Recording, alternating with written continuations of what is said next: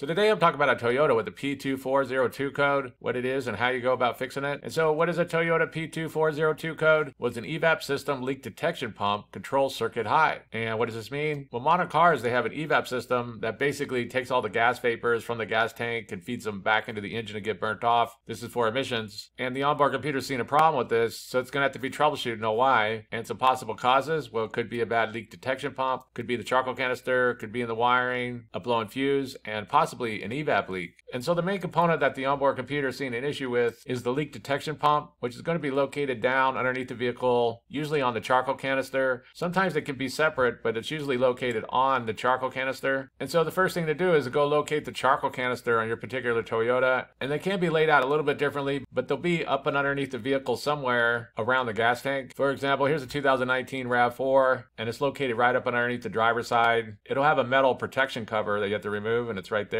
Sometimes they're located behind the rear axle, but it'll be up underneath the vehicle somewhere. And so after you locate the charcoal canister, the next thing to do is check out all the wiring real good. Be sure there's no damaged wires or anything like that, and that everything's connected good. Basically, just keep in mind anything wrong with the wiring, open, short, bad connections, is going to cause issues. You can also check for any blown fuses or anything like this, since that can also cause issues. And so the first thing to do is check out the wiring real good. If the wiring all looks good, there's no blown fuses or anything, then the next thing to check out is going to be this leak detection pump. And you can test it if you want There's some good YouTube videos on how you go about testing these. And this is what the onboard computer is seeing an issue with. So the next thing to do is going to be to test or replace that leak detection pump. You can buy the whole charcoal canister all together in one assembly, or you can buy them separately. Sometimes it can be a good idea just to go ahead and buy a whole new charcoal canister, especially if the old one's really old, since there might be some other kind of issues going on with it. It might be leaking or something.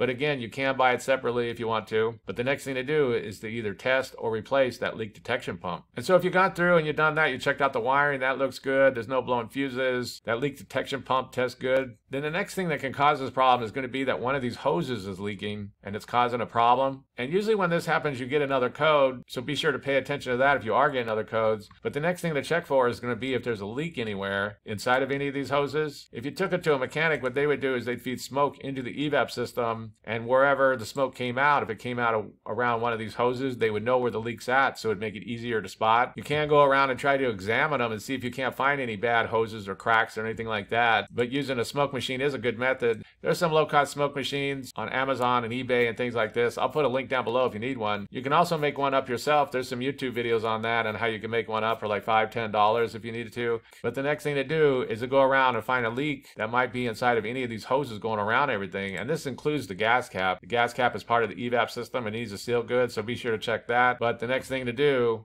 would be to go around and try to find any leaks that might be in the system. And so that's basically it. I just wanted to make a quick video on a basic overview of how you go about fixing a Toyota with the P2402 code. If you have anything to add, please comment down below. If you have any questions, ask me and I'll try to answer them. If this video helps you, please click like, please click subscribe, and have a good day.